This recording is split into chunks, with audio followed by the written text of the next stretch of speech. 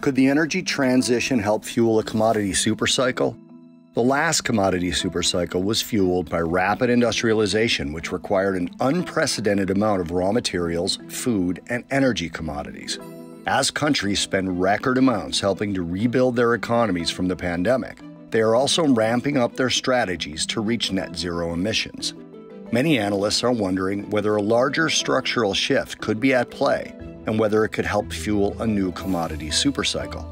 In the European Union, the fiscal stimulus package of 1.8 trillion euros comes with a shade of green, with 30% dedicated to fighting climate change.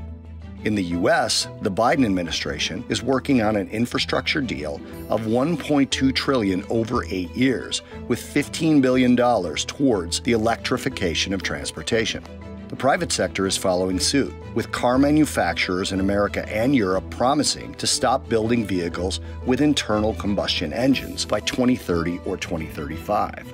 A whole new market for metals such as cobalt, lithium, or nickel sulfate used in high performance batteries is emerging to support the transition to electric vehicles. The EV revolution applies to battery focused materials, but also to traditional metal products.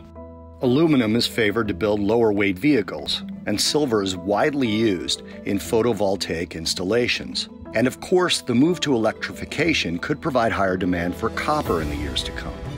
Whether or not we are witnessing a true supercycle, the EV revolution already seems to be bringing new dynamics to the commodity markets.